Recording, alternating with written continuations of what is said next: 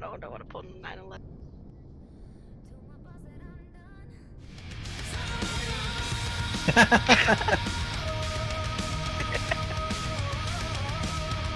Thank you.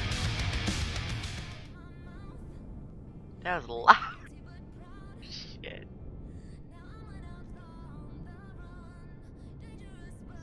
Subscriber.